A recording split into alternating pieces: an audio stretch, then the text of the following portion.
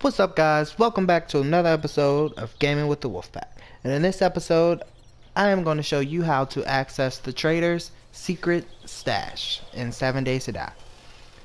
So, um, first of all, you're going to want to have this perk um, to even be able to access it. Uh, but get to get this perk, you need have barter on 20 and then you'll be able to get this perk I would recommend however to have um, the quality Joe and um, scavenging um, up as well. You don't have to but I would recommend it. It just means that um, you know whatever he has in there it'll just be a better quality. That's all. It wouldn't change what's in there or whatnot. So um Imani's gonna go to it and show you guys what they have inside of it. So as you can see, they have um, a player vending machine. If you're playing online, that's very helpful. You know, you can get your coins and stuff by that, by having people in your game, um, you know, shop on that. Um, the player vending machine is pretty much the same thing as the Trader Joe's, and you can put in it whatever you want. It doesn't have to, um, you know, it's whatever you want to put in there and you can sell it to people um, it would be best online.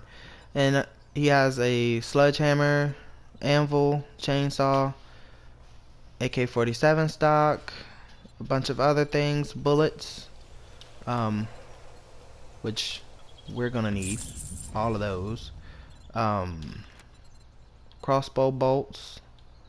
We're gonna go on ahead and get all of those steel arrows, which is pretty cool. We're, we're gonna go and get that.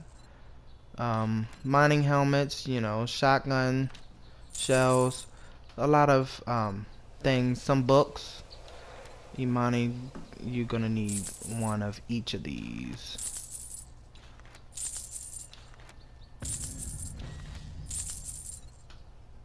Tasting and brewing, what's this?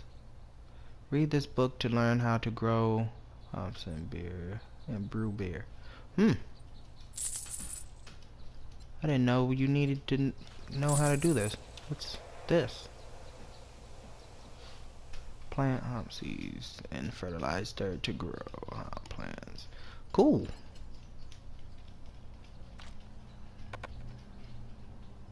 Let's talk about beer here, boss.